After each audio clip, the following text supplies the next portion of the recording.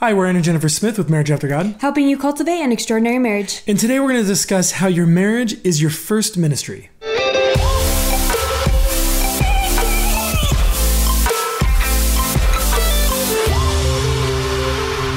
If you've been loving these these podcast episodes and the topics we're talking about, we'd love it if you went and left us a star review and even a, a review comment. Those help us get reach so other people find our podcast. Uh, so if you have a moment and you're loving the podcast, please go leave us a review and a star rating. So, one of the reasons we started the Marriage After God podcast is because we had this wild idea to write a book called Marriage After God. And we've been working really hard on the manuscript and we're so excited about it. And so, we just wanted to share that with you guys.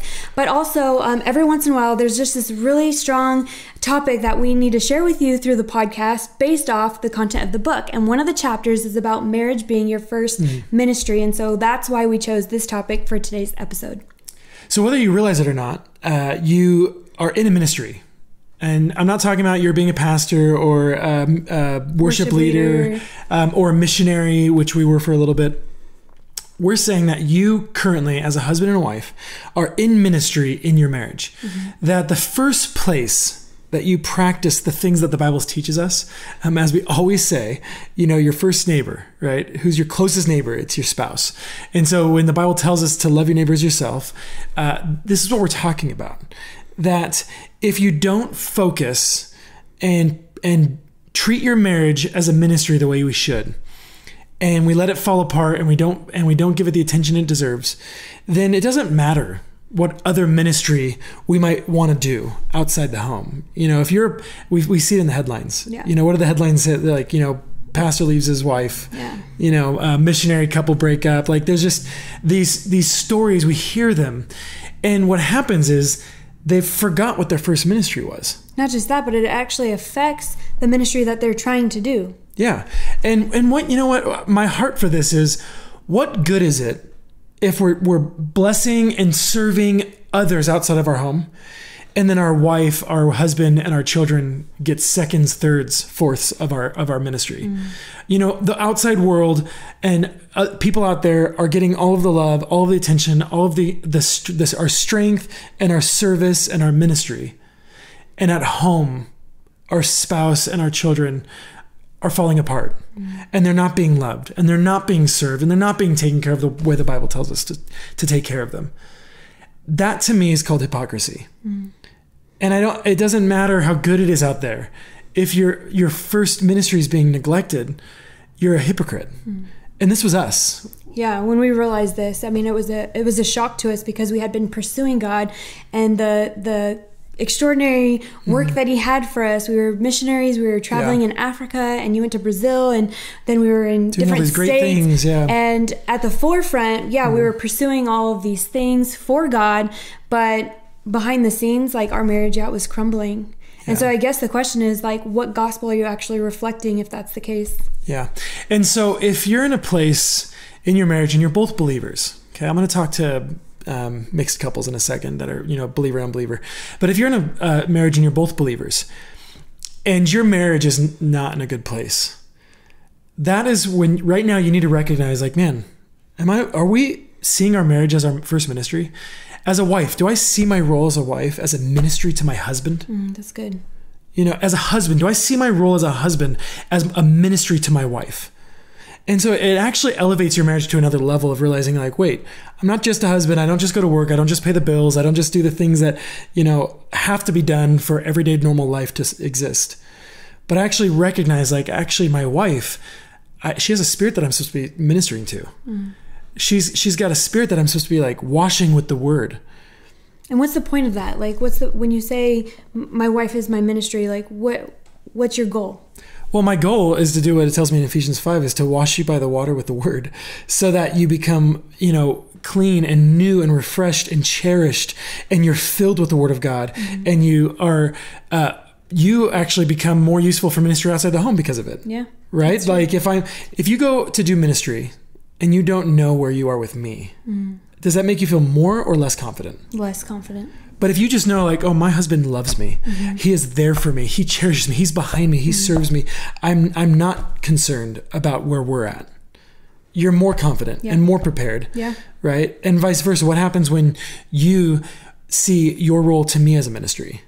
Uh, my perspective obviously has changed from a selfish one to a purpose-filled one, Mm-hmm. and I I actually can see beyond even my purposeful Mm-hmm. ministry to you and the impact you then will have in other people's lives. Yeah, because when we have a marriage after God, and we both see our marriage as a ministry, and we're and we're serving each other and loving each other as the Bible teaches us to, and we're walking in obedience to the Word, right?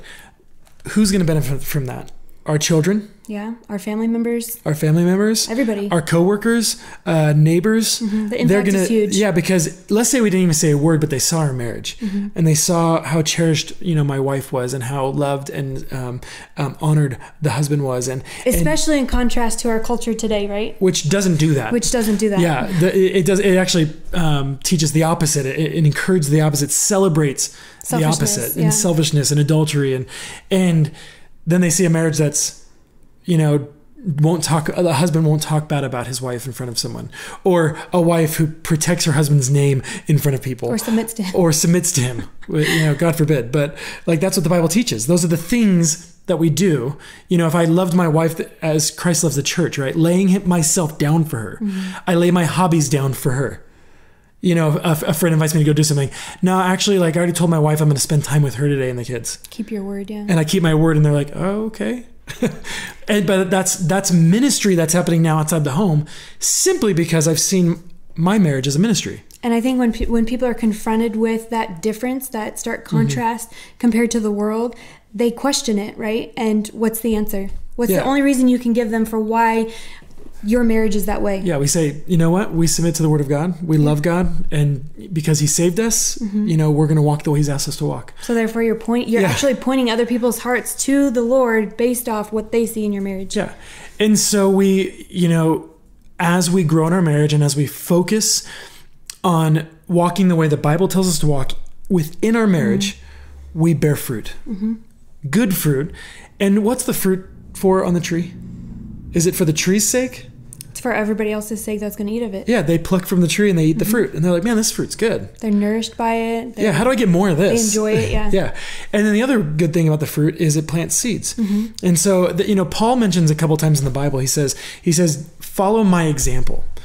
And so, uh, you know, a pastor told me a long time ago, he said, Aaron, can you honestly tell someone in your life to follow your example? It's a hard question.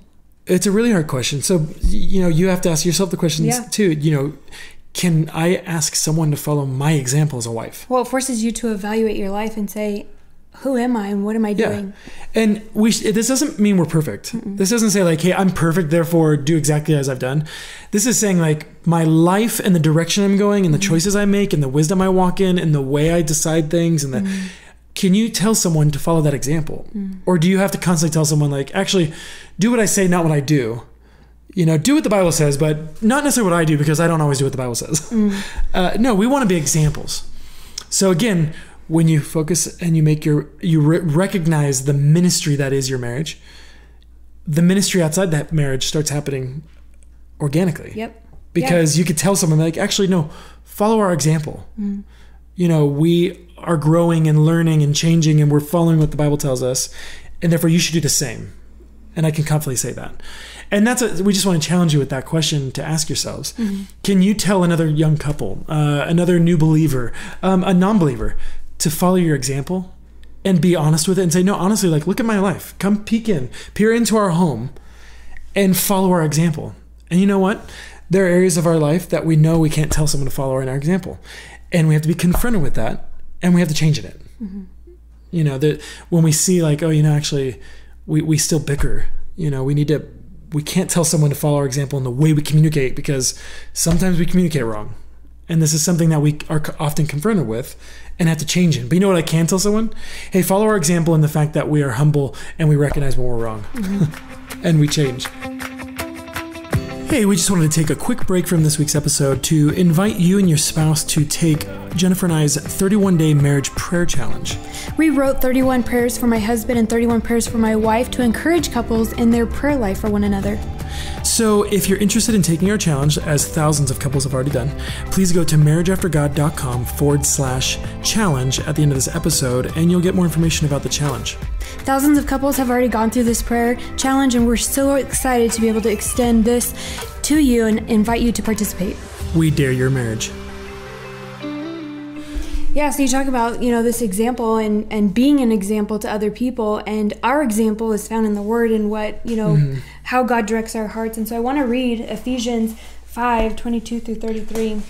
So it says, Wives, submit to your own husbands as to the Lord, for the husband is the head of the wife, even as Christ is the head of the church, his mm-hmm. body, and is himself its Savior.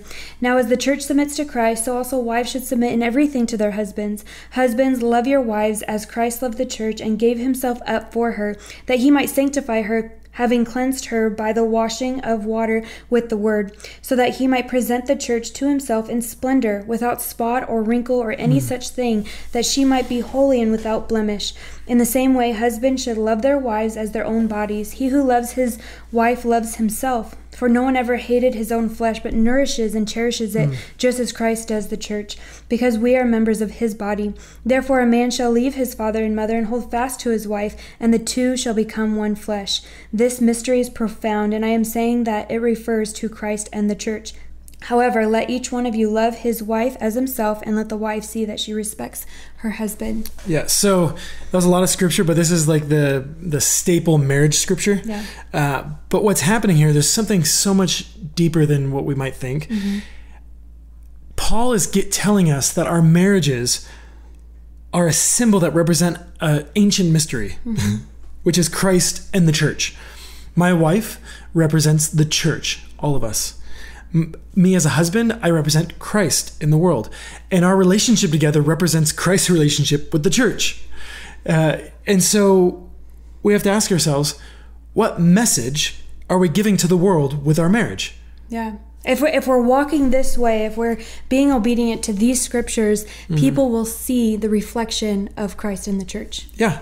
That, that's exactly what our ministry is as a, in our marriage that our marriage is not just to make us happy. It's not just to you know be a happily ever after story, but our marriage is actually a it's a earthly symbol of a spiritual truth mm-hmm. that my wife represents a church that is become one with the body of Christ. And that's what we're telling the world. We're like, hey, we this oneness that we have, this the way we walk, we're representing a heavenly spiritual truth. And here's the here's the downfall. If you're not doing that, you're showing the world a false gospel. You're showing the world like, hey, uh, God only loves you as long as you you know serve me the way I want to be served. God only is going to love you if you do everything right. God's you know that this is what you do. You you when you show the world your marriage that's um, fractured and broken and maybe even divorcing or uh, adultery and cheating and all these things. Those are pictures of how the people of Israel were towards God when they would go and chase after false gods. That's what adultery. That's why they use the word adultery in the Bible. It was cheating on God. And so when we walk in faithfulness with each other and in oneness with each other, we're sh- showing the true message of what Christ came to do.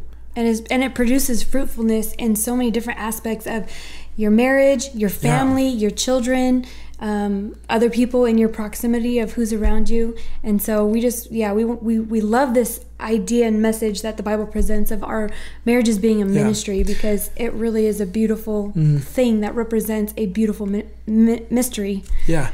And so if you're currently in ministry outside the home, let's say you're a youth pastor, uh, a, a, senior pastor, worship leader, uh, or the plethora of other ministries I mean, there's so many there. little things like you greet people, you know, yeah. maybe you're hospitable, maybe you um, I don't know, serve the mm-hmm. prison ministry. There's so many different types of ministry. So we don't want to just yeah. Put certain labels out there, but we're talking to everybody who spends time outside the home yeah. serving others and um, and spending their time there. This is what we'd say to you. If your marriage is not this way, if it's not in order, not perfect, but if you guys are not focusing on seeing your marriage as a ministry, take a break from the ministry you're doing outside the church, outside your home. Yeah, don't sacrifice your marriage for that ministry. Yeah, um, a, a, quote I say in the book is is don't sacrifice your marriage on the altar of ministry. Mm, that's good. you know, you're focus on your marriage. Go go make sure you you are an example so that you are not going to be disqualified in this ministry when someone says like wait a minute you're telling me to be this way but why are you being that way over there mm-hmm. we want to be good examples yeah. um, doesn't mean throw the ministry out but say, hey, I want to take a break Yeah. from this. I want to go. I need, I need Which to work on do something. before. We've done this. We recognized this when we were in Africa, um, or actually when we were in Canada, and Well, we're like, several hey, different spots Yeah, we- in, over time. and we realized like, hey, we need to go home and take care of some stuff. Yeah. And you know what? God worked on us and He was faithful to heal us and show us that this was our first ministry and that nothing else mattered unless we could do this. Yeah. And I want to go back to um, what you said about, you know, not don't sacrifice your marriage on the altar of ministry. That's such a good quote. Um, but it doesn't happen in just one choice. It's not one decision just to say, I'm going to choose this ministry over my marriage. It happens incrementally. And I just wanted them to hear that because I think it's really important to know that every choice that you make has an impact Mm-hmm. on your marriage. And that's really, I think that we need to just stop and like think about that It's sometimes. good. And I just thought of something. Um, one of our previous episodes, we talked about escapism. Yeah. Um, if you're using a ministry to Mm-hmm. escape what's going on in your marriage, like, oh, I can't even deal with this, or I'm, I feel so lonely, or this, and so therefore I'm going to go over here and use this ministry and what Mm-hmm. I'm and my that way. serving over here to get uh, your mind off of it. Again, s- take a break Mm-hmm. And ask, say, God, I want to, I want to be a good minister over here in my marriage. Mm-hmm. I want to serve you as a good soldier in my home. Mm-hmm. you know, as Timothy is told by Paul. You know, I want to I want to go minister in my home, right? So real quick, I want to talk about um, I want to talk to marriages where one of the spouses isn't a believer. Um, you might be thinking like, well, how am I supposed to do this? I can't go do any ministry because I my husband or my wife's not a believer. No, I want to say this. I want to say don't just throw your ministry away. But what I would say is make sure you are being the way you've been called to be as a ministry in your home even though your spouse is an unbeliever um, peter gives us some very specific direction, directives in 1 peter chapter 3 telling husbands and wives how to be when your spouse is an unbeliever. So that doesn't mean throw the other ministry you might be doing out but make sure you are ministering the way god des- desires you to minister in your home now. Uh, and so this is a little bit different. Um, if you're both believers i think you should absolutely definitely take a break from ministry if your marriage is not in order Yeah. and you're not ministering to each other the way the bible calls us to. Um, if you're in a marriage where one's an unbeliever you can still be seeing your marriage as your first ministry and you can actually sacrifice things and be like, you know, actually, I can't go do that because um, I know that I'm going to go spend time with my husband for this purpose. And consider the impact that's going to make in your husband's life.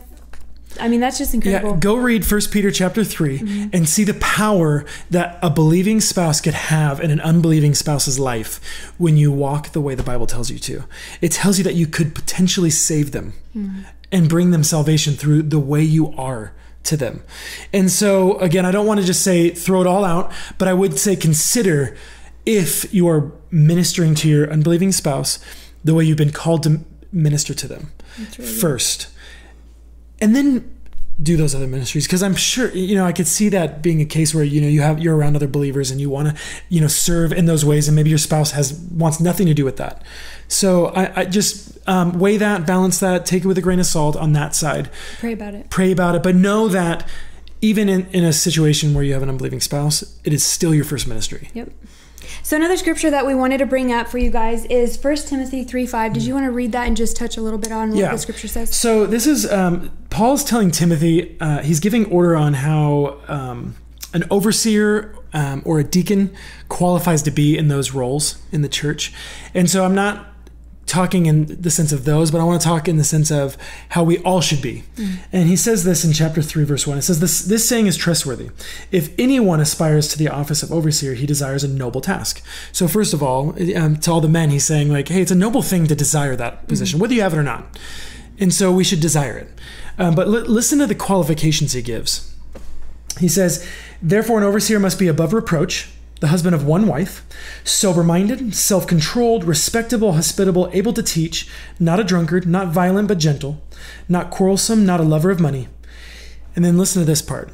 He says, He must manage his own household well, with all dignity, keeping his children submissive. For if someone does not know how to manage his own household, how will he care for God's church? Mm. So, in regards to just doing ministry, mm-hmm. Th- this is saying like having this specific ministry in the church. This is the qualifications, but we should all desire this position, and therefore we should all try and desire to walk in these ways. And he's t- and this is a pretty stark thing. He's saying he's saying how can you want to manage the household of God if you can't manage your own home? Mm-hmm. And then he even says up here that a qualification is being a husband of one wife.